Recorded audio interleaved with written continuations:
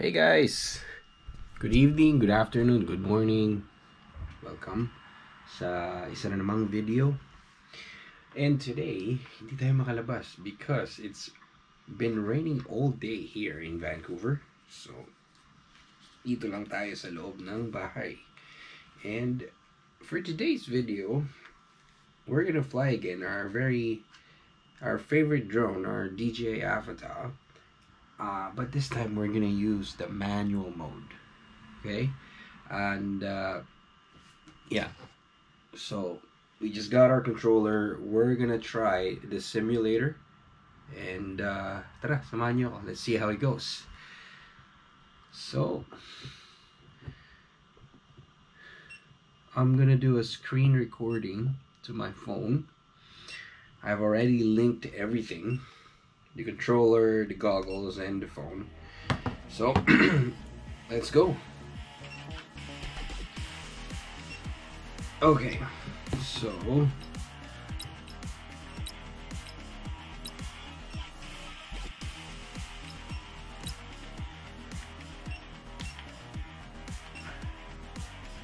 This is my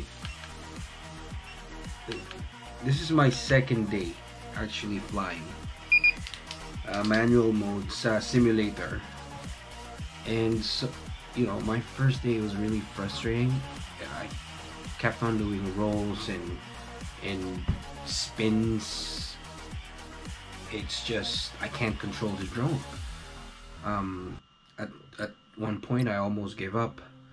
And I thought um, let me just return this this controller because I I think I can't learn it. But I I did try to fly fly. I was flying up to like midnight and I, at some point I finally kicked in. Like you know, I, I was okay. I, I figured it out. And what helps the most is this guy over here. This guy that's his YouTube channel, The Reel Rahim. He uploaded a bunch of videos regarding um, manual mode tutorials tutorials for DJI Avata and tell you guys he is really good.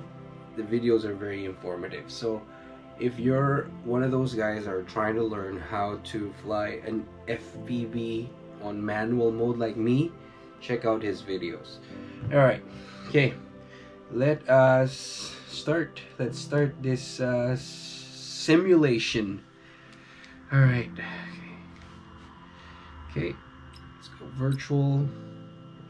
Let's try this factory free flight, and there you go. Okay, so we're flying manual mode. We're just gonna try to not crash for about five or six minutes. Um, normally, that's how long I would fly my Avata anyway. So if I want to take like a decent video of um, for wherever I am, five, six, uh, eight minutes max. So uh, for this video, let's just make it short. Try to do a five minute uh, fly flight on the uh, simulator and let's try not to crash. All right, let's go.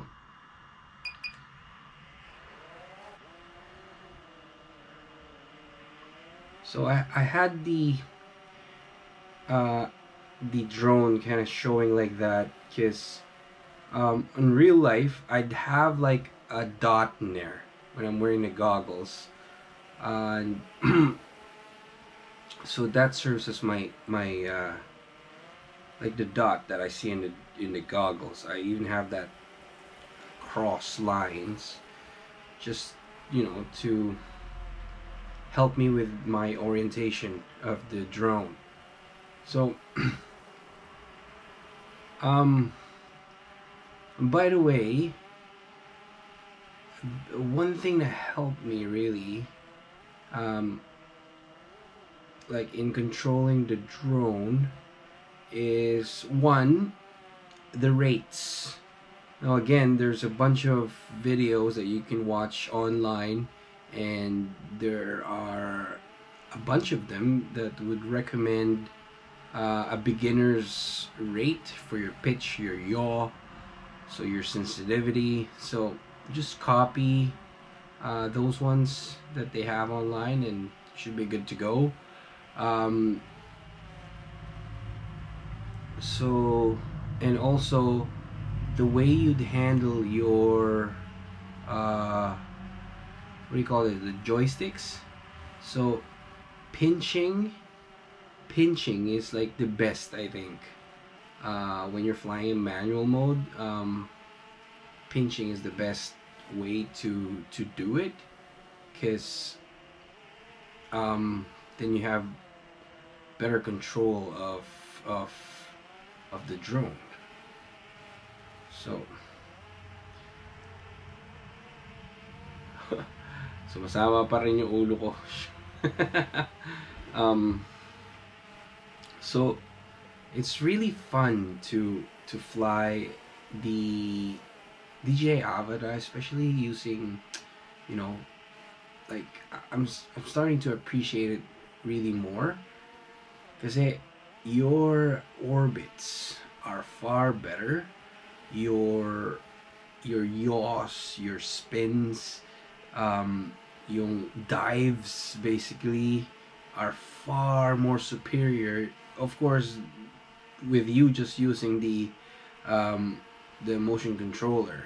Uh, even if you turn on your um, uh,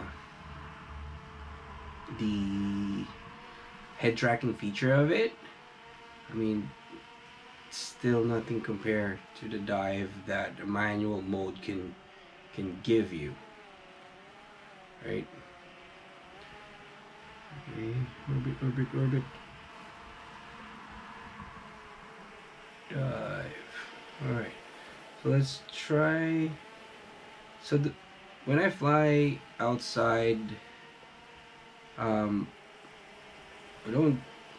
What I I'm aiming for is basically having a very straight line.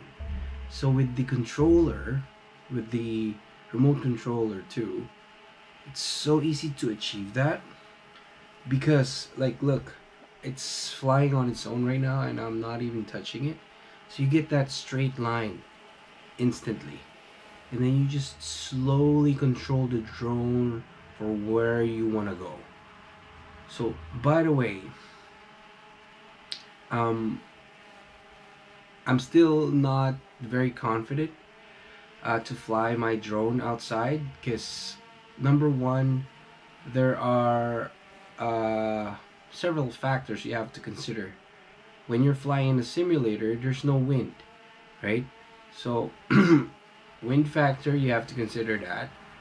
Um, number two, glitches. So, sometimes when you're flying your drone, you'd experience, um, you know, it just freezes. You you lose uh, um, connection and you know your goggles doesn't have any display anymore so those kind of stuff can happen so I think when I will fly outside when I'm I feel confident I feel ready what I'm gonna do is I'm just gonna go and fly it um, somewhere that offers so much space, an open field with tons of tall grasses. That way, when I most likely crash a drone, it's still gonna be okay. But hey, it's been what more than five minutes, I think, and uh, oh, it's pretty good sign I haven't crashed. So let's let's do a one more climb on the mountain and let's do a nice dive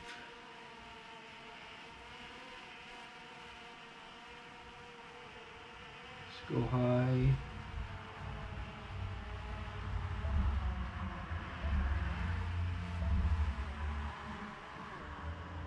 there you go. So when you're diving at some point you're like letting your drone sort of glide just in the air. And then you just control it for where you want to go